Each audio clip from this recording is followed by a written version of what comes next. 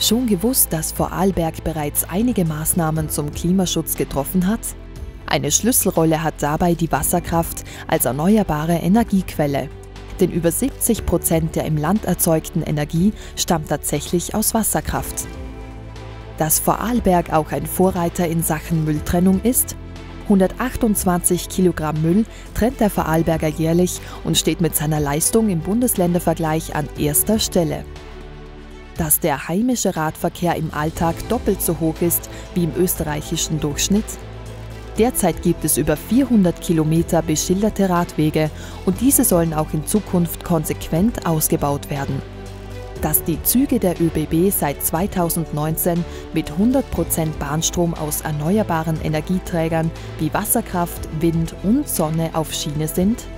Übrigens liegt das Ländle im Österreich-Schnitt bei der Nutzung von Bus und Bahn auf Platz 2 nach Wien.